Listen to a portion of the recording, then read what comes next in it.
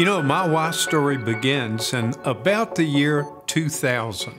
And many people may not know, but around 2000, there were two YMCAs in the city of Plano. I was asked to serve on the branch board. One of the things we had to do that was difficult, we worked to merge both Ys into one.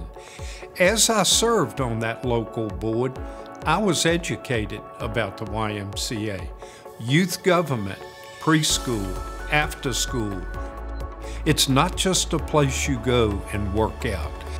The YMCA really gives back to the community. One of the Y stories that really hooked me for life was about a young man named Tevin whose mother had ALS, Lou Gehrig's disease, and he was beginning to slur his speech because he was mimicking what his mother was saying at home.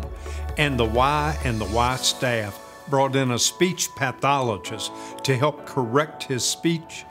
That was the hook. That got me. I said, I want to be a part of the YMCA of Metropolitan Dallas. They care about each individual within the community. You know, my day job is in healthcare. Well, the YMCA not only focus on your physical health, they look at chronic illness. They've got programs dealing with diabetes. They have programs dealing with cancer.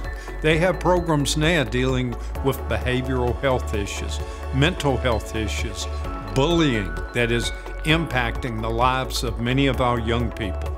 It is my honor to receive the Theodore Beasley Distinguished Leadership Award on behalf of the people that support the YMCA of Metro Dallas.